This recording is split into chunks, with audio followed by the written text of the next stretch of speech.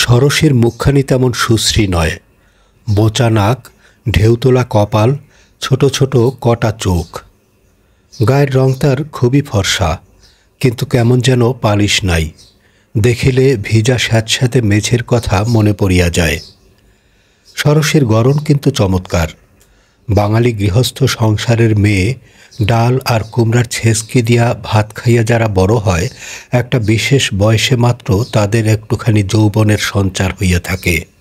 বাকি সবটাই অসামঞ্জস্য। সে হিসাবে সরসী বাস্তবিকই অসাধারণ। তার শরীরের মতো শরীর সচরাচর চোখে পড়ে না। ঘোমটা দিয়া থাকিলে কবিকে সে অনায়াসে মুগ্ধ করিতে পারে। একটু নিচু দরের ব্রহ্মচারীর মনে ঘোমটা খুলিয়া তার মুখখানি দেখিবার সাত জাগা আশ্চর্য নয়। ঘটনাটা নিছক মাতৃমূলক। সরসীর মার অনেক বয়স হইয়াছে, চল্লিশের কম নয়। কিন্তু এখনও তার শরীরের বাঁধুনি দেখিলে আপনার বিস্ময় বোধ হয় এবং তিনি লজ্জা পান। তেরো বছর বয়সে সরসী টের পায় যে অহংকার করার মতো গায়ের রং তো তার আছেই, কিন্তু আসল রূপ তার গায়ের রঙে নয় অস্থিমাংসের বিন্যাসে। টের পাইবার পর সরসীর কাপড় পরার ভঙ্গি দেখিয়া সকলে অবাক। ও কিলো ও আবার কি ঢং? ঢং আবার কোথায় দেখলে? ও কি কাপড় পরার ছিরি তোর? সং সেজেছিস কেন? বেশ করেছি, তোমার কি? মুখে আগুন মেয়ের। যাসনে, সংসেজে ঢং করে পাড়া বেড়াতে তুই যাসনে সরি, মেরে পেটের চামড়া তুলে ফেলব।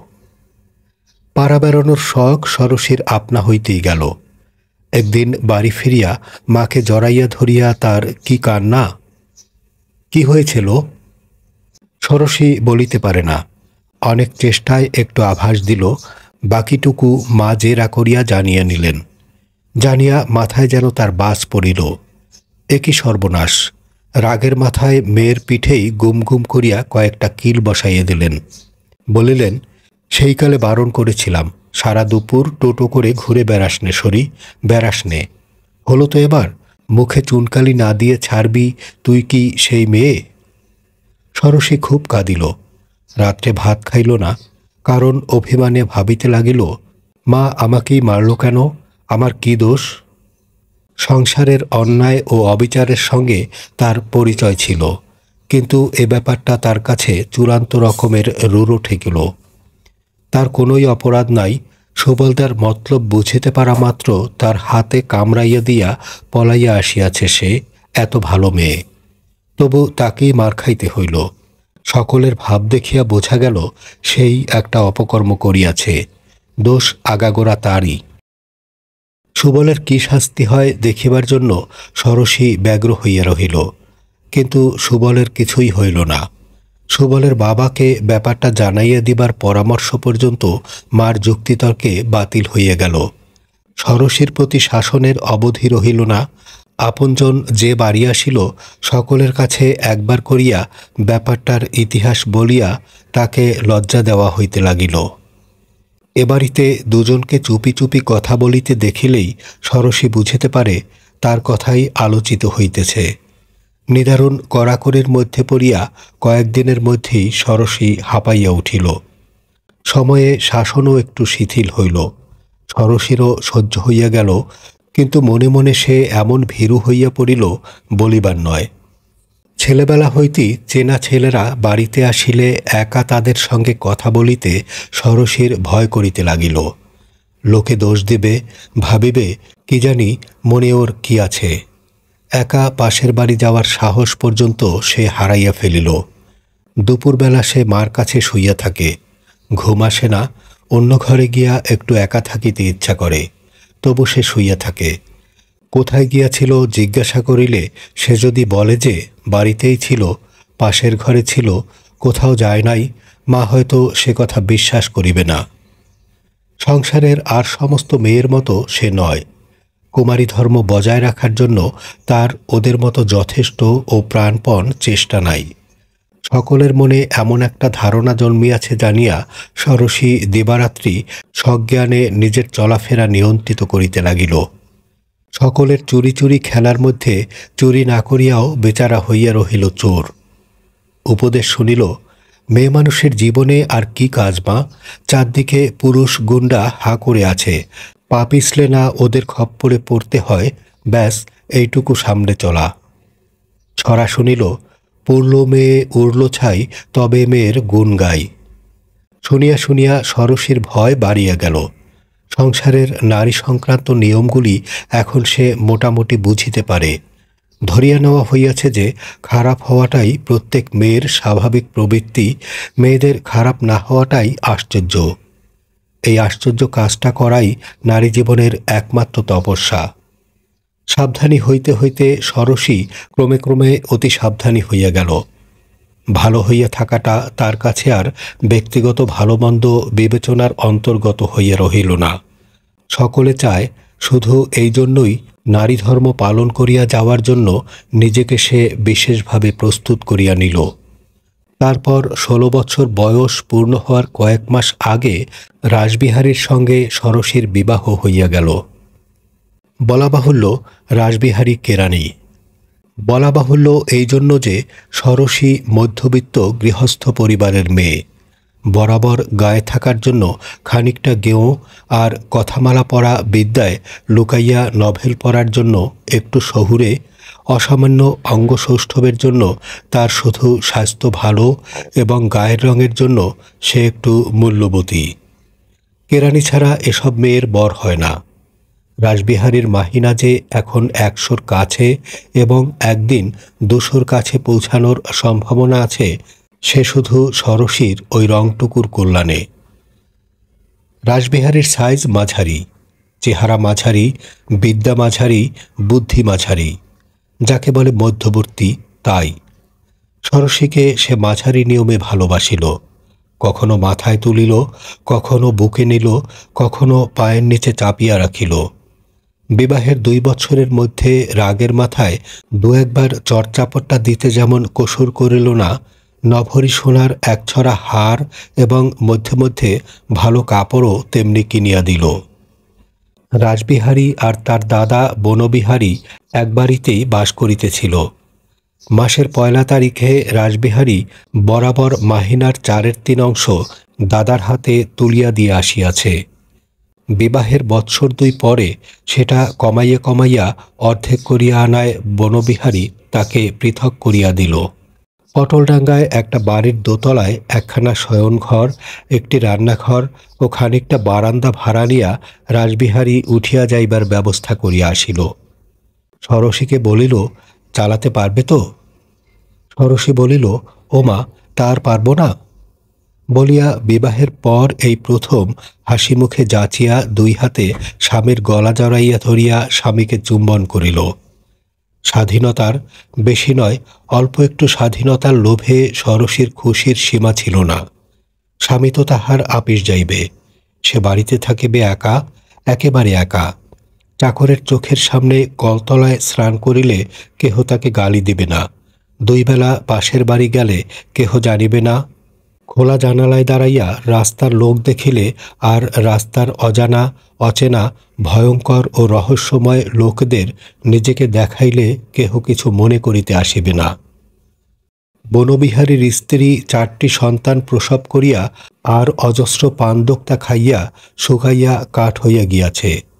রাসবিহারীর যাওয়ার দিন সে স্বামীকে বলিল, যাই বলো বাবু বাসলাম এবং একসময় রাসবিহারীকে একান্তে ডাকিয়া নিয়া বলিল, তোমার ভালোর জন্যই বলা। রাসবিহারী কৌতূহল প্রকাশ করিলে এদিক ওদিক চাহিয়া নিচু গলায়, বউকে একটু সামলে চলো। কেন? কেমন যেন বাড়াবাড়ি। সেদিন রাখাল এসেছিল, জানো, নিচে আমি খাবার টাবার করছি। বললাম, ও ছোট বউ, বাড়িতে একটা লোক এসেছে, দুটো কথাবার্তা বলগে একা একা চুপ করে বসে থাকবে? তা ছোট বউ কী জবাব দিলে শুনবে? বললে, পারব না দিদি, আমার লজ্জা করছে। আমার ভাইয়ের বয়স এখনও আঠারো পড়েনি।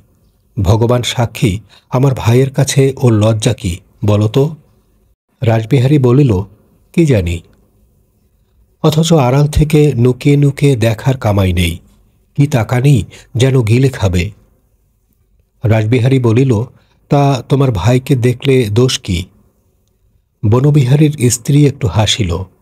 অনেক পান্দক্তা খাওয়ার জন্য মুখের হাসি পর্যন্ত তার ঝাঁঝালো। বলিল, তারপর শোনো, এদিকে ছাতে কাপড়টি মেলে দিয়ে আসতে বললে যায় না। বলে, চারদিক থেকে তাকায় দিদি, আমি যাব না। আমি মরি সিঁড়ি ভেঙে ভেঙে। ভাবি, আহা, ছেলে মানুষ, না যায়, না যাক। পাড়ার লোকগুলোও তো পোড়ার মুখও কম নয়। ওমা, এদিকে দুপুরবেলা চোখ বুঝেছি কি বুঝিনি, অমনি তুরুক করে ছাতে গিয়ে হাজির। রাসবিহারী বলিল, ছাতে গিয়ে কি করে? কে জানে বাপু কি করে? কে খোঁজ নিতে যায়? একদিন মাত্র দেখেছি মাথার কাপড় ফেলে চুল এলো করে মহারানী ঘুরে বেড়াচ্ছেন। চুল শুকোচ্ছিল হয়তো। হবে, কিন্তু লুকিয়ে যাবার দরকার কি? যাব না বলে সরমের কাঁদনি গাইবার দরকার কি? সরসের কৌতূহল প্রচণ্ড। বাড়ির কোথাও গোপনে কিছু ঘটিবার জো নাই। রাত্রে বনবিহারী কতক্ষণ হুকা টানে, বড় বউ তাকে কি বলে না বলে কিনিয়া মধ্যে মধ্যে তাদের বচসা হয়, এসব খবরও সরসী অনেক রাখে। আড়ালে দাঁড়াইয়া বড় বউয়ের কথাগুলি শুনিতে সে বাকি রাখিল না। তখনকার মতো সরসী চুপ করিয়া রহিল। বড় বউ চুল বাঁধিয়া দিতে চাহিলে বিনা আপত্তিতে চুল বাঁধিল। সিঁদুর পরানোর পর যথানিয়মে তাকে প্রণামও করিল। জিনিসপত্র অধিকাংশই সকালে সরানো হইয়াছিল। বিকালে গাড়ি রাখিয়া বাকি জিনিস উঠাইয়া রাসবিহারী যখন শেষবারের মতো নিচে গিয়া তার জন্য অপেক্ষা করিতেছে, তখন মুখখানা ভয়ানক গম্ভীর করিয়া সরসী বড় বউকে বলিল, সকালবেলা ওকে কি বলেছিলে দিদি? কাকে? ঠাকুরপোকে? কই? কিছু বলিনি তো। তোমার মুখে কুট হবে। কি বললি? বললাম, তোমার মুখে কুট হবে। কুট কাকে বলে জানো না? কুষ্ঠবেধি। কার মুখে কুট হবে? ভগবান দেখছেন। আমি তোর গুরুজন। আমাকে তুই আ মরি মরি কি গুরুজন? মুখে আগুন তোমার মতো গুরুজনের। বানিয়ে বানিয়ে কথা শুনিয়ে স্বামীর মন ভারী করে দিতে একটু বাধে না, তুমি আবার গুরুজন কিসের? পাবে পাবে, এর ফল তুমি পাবে। যে মুখে আমার নামে মিথ্যা করে লাগিয়েছ, সে মুখে যদি পোকা না পড়ে তো চন্দ্রসূর্য আর উঠবে না, দিদি। ভগবানের সৃষ্টি লোপ পেয়ে যাবে। আমি যদি সতী হইত ভাবাবেগে সরসে কাঁদিয়া ফেলিল, কিন্তু বলিতে ছাড়িল না আমি যদি সতী হইত, আমার যতটুকু অনিষ্ট তুমি করলে, ভগবান তোমাকে তার দ্বিগুণ ফিরিয়ে দেবেন। অঙ্গ তোমার খসে খসে পড়বে দিদি, পচে যাবে, গলে যাবে। ভাসুর ঠাকুর দূর দূর করে তোমাকে বাড়ি থেকে দেবেন খেদিয়ে। সরসী যে এমন করিয়া বলিতে জানে, বড় বউয়ের তা জানা ছিল না। হেলে সাপকে কেউটের মতো ফোঁস করিতে দেখিয়া সে এমন অবাক হইয়া গেল যে ভালোমতো একটা জবাবও দিতে পারিল না। চোখ মুছিয়া গাড়ি চাপিয়া সরসী বিজয়গর্বে চলিয়া গেল। মুখ দিয়া উপরোক্ত কথাগুলি স্রোতের মতো অবাধে বাহির করিয়া দিতে পারিয়া নিজেকে তার খুব উচ্চ শ্রেণির আদর্শ স্ত্রী বলিয়া মনে হইতেছিল। নূতন বাড়িতে আসিয়া সরসী সংসার গুছাইয়া বসিল। শোবার ঘরখানা রাস্তার ঠিক উপরে। রাস্তার ওপাশে সামনের বাড়ি হইতে ঘরের ভিতরটা সব দেখা যায়। জানালার আগাগোড়া সরসী পর্দা টাঙাইয়া দিল। রাসবিহারীকে বিশেষ করিয়া বলিয়া দিল, পর্দা সরিও না বাপু, ও বাড়ি থেকে দেখা যায়। ঘরটা একটু অন্ধকার হলো, কি করব? রাসবিহারী ভাবিল, বড় বউয়ের কথাটা মিথ্যা নয়, সরসীর একটু বাড়াবাড়ি আছে। কাল তারা হোটেলের ভাত আনিয়া খাইয়াছিল। ঘর গোছানো ও জানলার পর্দা টাঙানোর হিরিকে এবেলাও সরসী রাঁধিতে পারে নাই। রাসবিহারীর আপিসের বেলা হইলে সরসী বলিল, হোটেলে খেয়ে তুমি আপিস চলে যাও। আমি এক ফাঁকে দুটি ভাতে ভাত ফুটিয়ে নেব রাসবিহারী মনে মনে বিরক্ত হইয়া জামা গায়ে দিল। ঘরের দেয়ালে একটা ফুটা থাকার আশঙ্কার কাছে স্বামীর খাওয়া চুলোয় যায় সবসময় এ গভীর ভালোবাসা হজম করা শক্ত। তবু বাহিরে যাওয়ার আগে রাসবিহারী বলে গেল, ছাতে উঠো না সরসী বলিল, না। বলিয়া তৎক্ষণাৎ আবার জিজ্ঞাসা করিল, কিন্তু কাপড় শুকোতে দেব কোথায়? দিও, ছাতেই দিও, দিয়ে চট করে নেমে আসবে। আচ্ছা। এসব অপমান সরসের গায়ে লাগে না, অভ্যাস হয়ে গিয়াছে। খোলা ছাতের চারদিকে প্রলোভন, চারদিকে বিস্ময়, চারদিকে রহস্য। স্বামী তো বারণ করিবেই, কিছু মন্দ ভাবিয়া নয়, তার মঙ্গলের জন্যই বারণ করা। রাসবিহারী বাহির হইয়া যাওয়ার পাঁচ মিনিট পরে সরসী ছাতে উঠিল। ভাবিল, এক মিনিট এক মিনিট শুধু চারদিকে চোখ বুলিয়ে আসব। কিন্তু এক মিনিটে চোখ বুলানো যায় না। ইটের স্তূপ জড়ো করিয়া মানুষ এই শহর গড়িয়াছে। চারিদিকে সীমাহীন, সংখ্যাহীন মানুষের আস্তানা কোনো দিকে শেষ নাই, কোথাও এতটুকু ফাঁক নাই। নেড়ে নেড়ে একটা বিস্ময়কর জমজমাট আলিঙ্গন। ছাতে ছাতে আলিশায় কার্নিশে একটা অবিশ্বাস্য মিলন। এই বিপুলতার বিস্ময় অনুভব করিতেই সরসীর আধ ঘণ্টা কাটিয়া গেল। কোনো একটি বিশেষ বাড়িকে বিশেষভাবে দেখিবার অবসর এই সময়ের মধ্যে সে পাইল না। এ তো তার চেনা শহর। সে বাড়ির ছাদ হইতে সকলকে লুকাইয়া, না, সকলকে লুকাইয়া নয়, অত সাবধানতা সত্ত্বেও বড় বউ টের পাইয়াছিল। এই শহরকে সে দেখিয়াছে। কিন্তু নতুন বাড়ির নতুন ছাতে মাথার কাপড়, পায়ের নিচের শুকনো শ্যাওলায় লুটাইয়া মলিন করিয়া ঘুরিয়া ঘুরিয়া নির্ভয়, নিশ্চিন্ত পর্যবেক্ষণের সবটুকুই আজ অভিনব। মাথার উপরে সূর্য আগুন ঢালিতেছে। ছাতের কোথায় এক টুকরা ভাঙা কাজ পড়িয়াছিল সরসীর পা কাটিয়া রক্ত পড়িতেছে। কোমরে কোনো মতে কাপড় আটা আছে, কিন্তু দেহের ঊর্ধ্বাংশ একেবারে অনাবৃত। সরসীর খেয়াল নাই। আকাশে একটা চিলের সকাতর চিৎকারে সরসী শিহরিয়া উঠিল। হৃদয়ে আস্তার আনন্দের উত্তেজনার বান ডাকিয়াছে। সে উন্মাদিনী। তার বহুদিনের দেয়াল চাপা দুর্বল প্রাণে খোলা ছাতের এই সকরুণ দুঃসাহস মানুষকে ভয় না করার এই প্রথম সংক্ষিপ্ত উপলব্ধি বুকের চামড়ায়, পিঠের চামড়ায়, পৃথিবীর গরম বাতাস আর আকাশের রুড়ো রৌদ্র লাগানোর উগ্র বেকুল উল্লাস তার সহ্য হইতেছে না। তার ইচ্ছা হইতেছে অর্ধাঙ্গের কার্পাস তোলার বাঁধনটা টানিয়া খুলিয়া দূরে ছুরিয়া ফেলিয়া দেয়। দিয়া পাগলের মতো সমস্ত ছাতে খানিক্ষণ ছোটাছুটি করে আর চেঁচায়। গলা ফাটাইয়া প্রাণপণে চেঁচায়। সে যে ঘরের বউ সে যে বোবা, অসহায়, ভীরু স্ত্রীলোক সব ভুলিয়া বুকে যত শব্দ সঞ্চিত হইয়া আছে সমস্ত বাহিরে ছড়াইয়া দেয়, অথবা আলিশা ডিগাইয়া নিচে লাফাইয়া পড়ে। হ্যাঁ শূন্য পরিবার সময়টুকু উন্মত্ত উল্লাসে হাত পা ছুড়িতে ছুড়িতে প্রকাশ্য রাস্তার ধারে ওই শক্ত রোয়াকটিতে আশ্রয়ে পড়িলে ভালো হয়। মাথাটা গুড়া হইয়া যাইবে, কিন্তু শরীরের তার কিছুই হইবে না। তার এই কাঁচা সোনার মতো গায়ের রঙে স্থানে স্থানে রক্ত লাগিবে। রাস্তার লোক ভিড় করিয়া তার অপরূপ দেহের অপূর্ব অপমৃত্যু চাহিয়া দেখিবে। কোথায় লজ্জা, কোথায় সংকোচ, কে জানিবে এই দেহের মধ্যে যে বাস করিতেছিল, নিজেকে লুকাইয়া লুকাইয়া সে দিন কাটাইয়াছে। আঠারো বছরের বালকের ভয়ে অবশ হইয়া গিয়াছে, স্বামী ভিন্ন জগতের আরেকটি পুরুষের দিকে চোখ তুলিয়াও চাহিতে সাহস পায় নাই।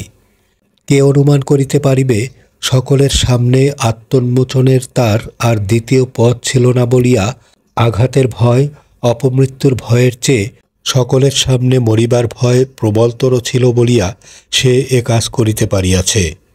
নিজের অনন্ত দুর্বলতার বিরুদ্ধে এ শুধু তার একটা তীব্র প্রতিবাদ। আপনার প্রতি তার এই শেষ প্রতিরোধ। স্বামীর সাহায্য ছাড়া সমাজের চাবুকের সাহায্য ছাড়া কোনো মতেই সে খাঁটি থাকিতে পারিত না।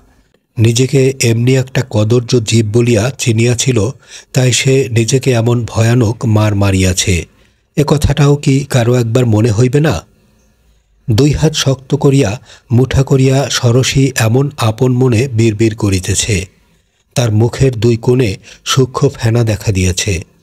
হঠাৎ এক সময় হাঁটু ভাঙিয়া সে ছাতের উপর বসিয়া পড়িল। দুই করতল সজরে ছাতে ঘষিতে ঘষিতে সে জোরে জোরে বলিতে লাগিল, বেশ বেশ বেশ, আমার খুশি আমার খুশি আমার খুশি। তারপর শূন্যের উপর ঝাঁজিয়া উঠিয়া শূন্যকেই সম্বোধন করিয়া আবার বলিল, হলো তো? তাকে ঘিরিয়া সমস্ত জগৎ কলরব করিতেছে। সমস্ত জগৎ এক বাক্যে তাকে ছিছি করিতেছে। তার কথা কে শুনিবে? তার কোনো মুহূর্তের আত্মজয়ের দাম দেবে না। তাকে ঠাসিয়া, চাপিয়া, ধরিয়া থাকিয়া তারই কটা চামড়ার সেদে তারই যৌবনের উত্তাপে তাকে সিদ্ধ করিবে। সরসের চোখ দিয়া জল পড়িতে লাগিল। লোটানো আঁচল তুলিয়া নিজেকে সে আবৃত করিয়া নিল। ঘষিয়া ঘষিয়া চোখ শুষ্ক করিয়া উত্তরাভিমুখী হইয়া আলিশায় ভর দিয়া দাঁড়াইয়া রহিল। হিস্টেরিয়ার ফিটের পর যেমন সমস্ত জগৎ একেবারে স্তব্ধ হইয়া যায়, মুখে একটা ধাতব স্বাদ লাগিয়া থাকে, সরসের কানের কাছে তার নিজের রক্তের কোলাহল তেমনিভাবে অকস্মাৎ থামিয়া গিয়াছে। জিভে একটু কটু স্বাদ লাগিয়া আছে। এখন আর তার কোনো উত্তেজনা নাই। সে একটু বেহবল হইয়া পড়িয়াছে। তার মনে হইতেছে, এমন একটা কাজ সে করিয়া বসিয়াছে, সাধারণ কোনো মেয়ে যা করে না। কাজটা তার ন্যায়সঙ্গত হয় নাই। রাসবিহারীর আদেশ অমান্য করিয়া ছাতে বেড়ানোর জন্য সরসের কোনো আফসোস নাই। স্বামীর ছোট বড় অনেক আদেশই অমান্য করিতে হয়, নহিলে টেকা অসম্ভব। কিন্তু তারও অতিরিক্ত কিছু সে কি করিয়া বসে নাই? নিজেকে তবে কলুষিত, অপবিত্র মনে হইতেছে কেন? ভাবিতে ভাবিতে সরসী নিচে নামিয়া গেল।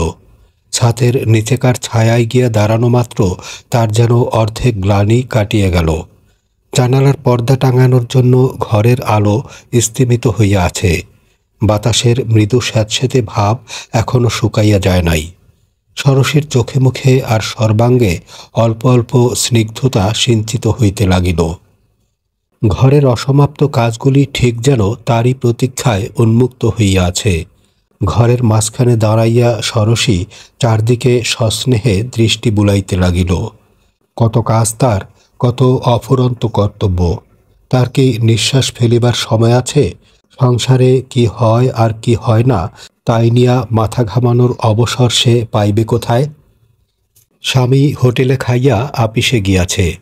এবেলার মধ্যে সমস্ত কাজ তার সারিয়া রাখিতে হইবে। ওবেলা দুটি রাধিয়া না দিলে চলিবে কেন? হোটেলের ভাতে পেট ভরানোর জন্য সে তো তাকে ভাত কাপড় দিয়া পুষিতেছে না। সরসী অবিলম্বে কাজে ব্যাপৃত হইয়া গেল। নোড়া আনিয়া দেয়ালে পেরেক ঠুকিয়া কোনাকুনি একটা দড়ি টাঙাইয়া দিল। জড়ো করা পরনের কাপড়গুলি একটি একটি করিয়া কুচাইয়া রাখিল। তাকে খবরের কাগজ বিছাইয়া তেলের শিশি, জুতার বুরুশ, রাসবিহারীর দাড়ি কামানোর সরঞ্জাম তার নিজের মুখে মাখার পাউডার পায়ে দেওয়ার আলতা, সিথিতে দেওয়ার সিঁদুর, সমস্ত টুকিটাকি জিনিস গুছাইয়া তুলিয়া রাখিল। চুল বাঁধার যন্ত্রপাতিগুলি সাজাইয়া রাখার সময় একটু হাসিয়া ভাবিল, ও ফিরে আসার আগে চুল বাঁধার সময় পাব তো? খাবারটা করেই চট করে একটু সাবান মেখে গা ধুয়ে নিয়ে বেঁধে ফেলব চুলটা। যে নোংরাই দেখে গেছে? চুলগুলি মুখে আসিয়া পড়িয়াছিল। দুই হাতে চুলের গোছা ধরিয়া খালি ঘরে একটা অনাবশ্যক, অপচয়িত মনোরম ভঙ্গির সঙ্গে সরসী এলো খোপা বাঁধিয়া নিল। এবার কোন কাজটা আগে করিবে? বাক্সগুলি ও কোণে রাখা চলিবে না। এদিকে সরাইয়া আনিতে হইবে। জলের কুজোটা যেখানে আছে সেইখানে। জলের কুজো? সরসীর দু চোখ চকচক করিয়া উঠিল। কি তৃষ্ণাই তার পাইয়াছে। হাতের কাছে গেলাস ছিল, দেখিতে পাইল না। উবু হইয়া বসিয়া দুই হাতে কুজোটা তুলিয়া ধরিয়া সে গলায় জল ঢালিতে লাগিল। খানিক পেটে গেল, বাকিটাতে তার বুকের কাপড় ভিজিয়া গেল। কি তৃষ্ণাই সরসীর পাইয়াছিল। এতক্ষণ শুনলেন মানিক বন্দ্যোপাধ্যায়ের ছোট গল্প, কেরানির বউ। গল্পটি ভালো লেগে থাকলে লাইক, কমেন্ট, শেয়ারের মাধ্যমে বন্ধুদের মাঝে ছড়িয়ে দিন। আর চ্যানেলটিতে নতুন হয়ে থাকলে সাবস্ক্রাইব করে পাশে থাকুন। সবাই সুস্থ থাকুন, ভালো থাকুন, গল্প বাতায়নের সঙ্গে থাকুন।